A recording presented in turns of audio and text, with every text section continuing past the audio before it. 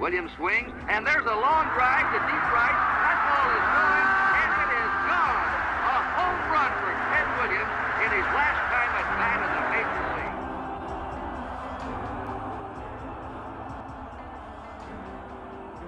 When legendary left fielder Ted Williams retired after the 1960 season, interest in the Red Sox in the New England region faded. It wasn't that there was no more Ted, it was that the Red Sox were flat out bad. The decline actually began in 1959. The Sox had 11 winning seasons in between 1946 and 1958, but in 1959, the team finished in fifth place, and in 1960, seventh. And then things got worse.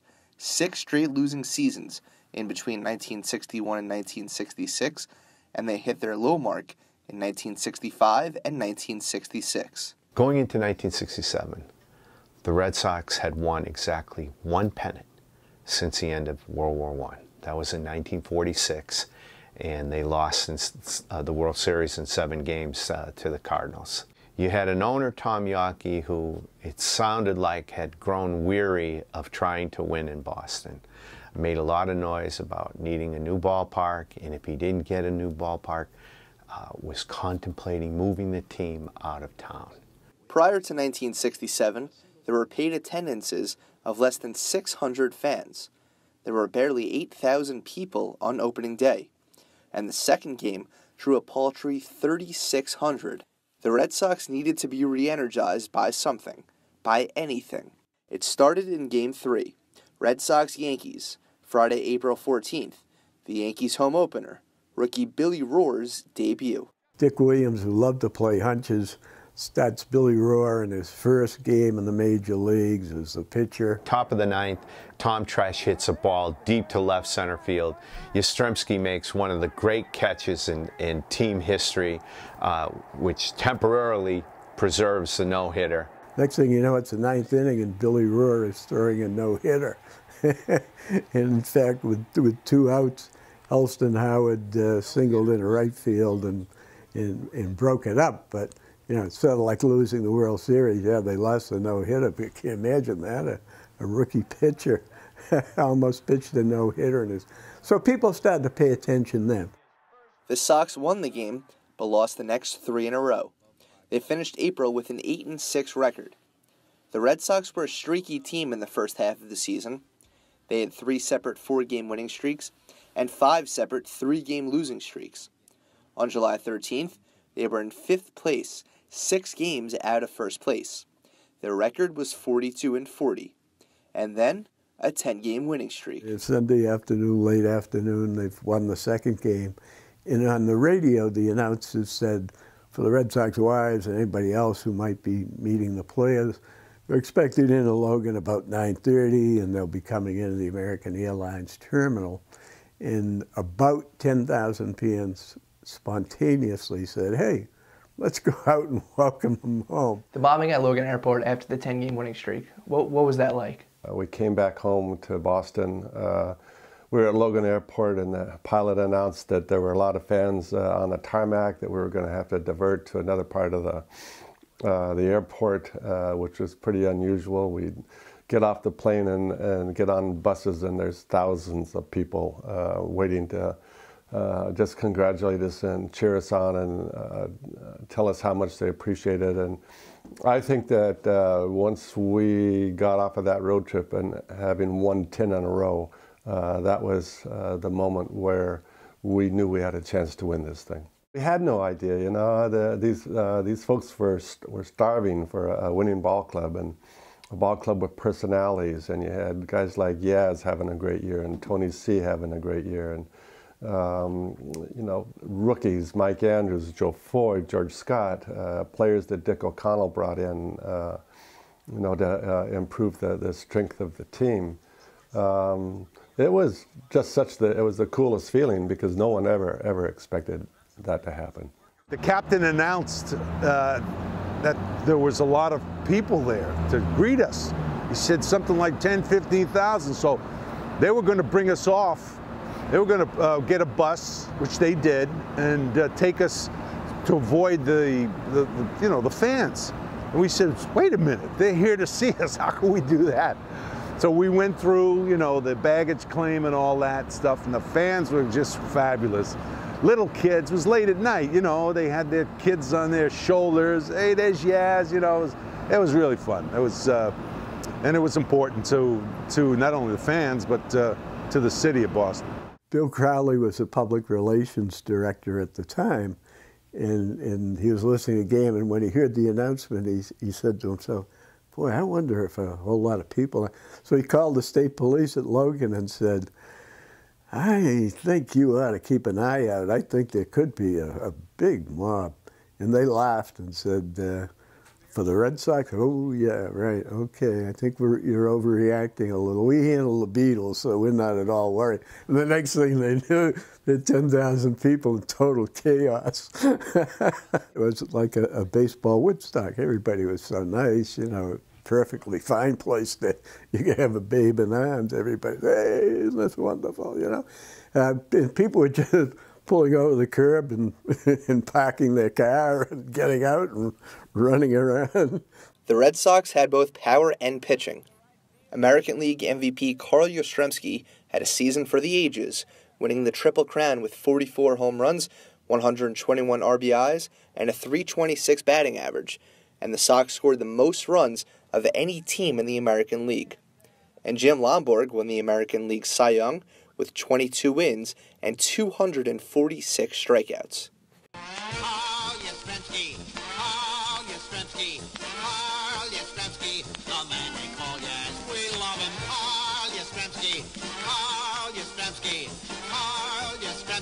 What power he has, our Boston team is always on the beam, cause we got It seemed that regardless of what the Red Sox needed in a particular moment, whether it was a base hit, a home run, a great catch, a great throw, invariably Yaz came up with it. And, and I mean, the greatest testament to that, of course, is his performance down the stretch. You know, last three weeks of the season, Yaz goes 23 for 44, hits over 500. The last weekend of the season, when the Sox have to beat the Minnesota Twins uh, twice uh, in order to even have a chance at winning the pennant, Yaz goes seven for eight hits a three-run home run in in the penultimate game, game 161, and then hits a tie, uh, uh, tying, game-tying two-run single in the final game of the season when the Sox were down 2-0 entering the sixth inning. So it was, uh, it was Yaz. It was all about Yaz. WAR is, is, a, is, is a newer metric, you know, wins above replacement. But the only player who's ever had a higher WAR for a single season than Carl Yastrzemski did in that year, and I believe his was 12.4, was Babe Ruth. It had been over a decade since the Sox last had a winning record. New Englanders were dying for a winning ball club. Sox fans couldn't contain their excitement. The whole region, not just Boston, but the whole New England region was on board with it. And, um, you know, so cars started to show up with stickers promoting the team. You never saw that before. Um, certainly, the radio broadcasts were, you know, very much a part of the soundtrack of that entire summertime. I mean, it is true, and you know, you hear this, you think maybe it's a cliche, but it's not. I mean, if you were at the beach on a summer afternoon, you could walk like a mile or two in places like Ogunquit, Maine, and you'd hear the broadcast as a continuum. It wouldn't break up because everyone had the radios out, you know, and this was in the pre headphone days.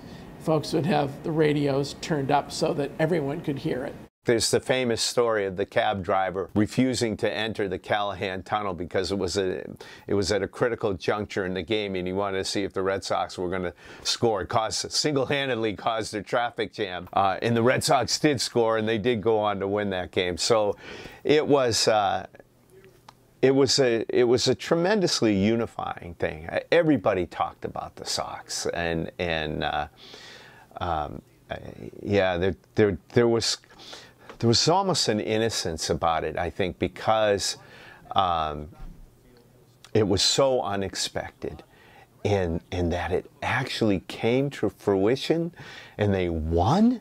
I mean, that was beyond your wildest dreams at that point. Starting with the 10 game winning streak, the Sox went 50 and 30 down the stretch. Entering the final weekend of the season, the Red Sox and Tigers were tied in second place and both trailed the Minnesota Twins by one game. The Red Sox opponent that weekend, the Twins. If the Sox won both Saturday and Sunday, they would be American League champions. They won on Saturday 6 to 4 thanks to the Yaz's 4 RBIs, and on Sunday, the Sox won 5 to 3 with the Red Sox scoring 5 runs in the 6th inning thanks to two wild pitches and one error by the Twins to overcome a 2 0 deficit, ultimately winning 5 to 3. On Sunday, with the Sox leading 5 to 3 and nobody on base with two outs in the ninth inning, Minnesota's Rich Rollins hit a short pop up right to Rico Petrocelli at shortstop for the final out.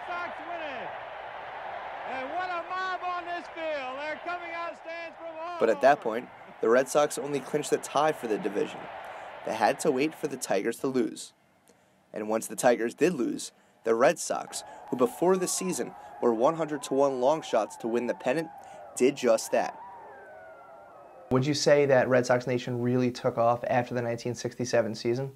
I, I, I know exactly uh, what you mean because they they talk about uh, Red Sox Nation now, and I, I think that historically, uh, if you were thinking about a moment in time uh, where that uh, that statement um, came to um, being part of how people feel about uh, the Red Sox we lit the spark. Uh, you know, that turned out to be a, a huge fire, uh, a passionate fire about uh, the Boston Red Sox and the history of the Red Sox and the players uh, uh, in the Red Sox. Uh, we were the ones that started the feeling that there was something special going on here in New England now. 1967 changed everything in, in, in terms of, of the interest level. as I said, their attendance doubled uh, in 67 to 1.75 million.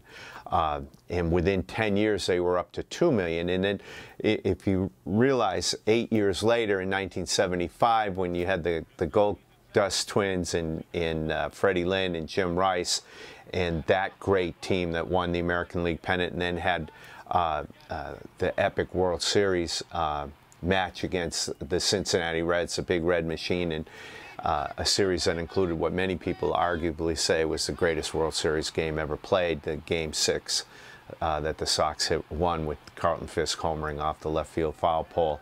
Uh, you know, so all the subsequent teams after 67 built on the popularity of that team. Um, and, you know, not coincidentally, uh, you know, dovetailed with uh, a, a, spike in the team's performance too. I mean, particularly, uh, you know, from the early 70s on. Uh, yes, the Red Sox only won a handful of pennants. I mean, 75, 86. Uh, they went to the playoffs in 88, 90, lost. 95, they lost.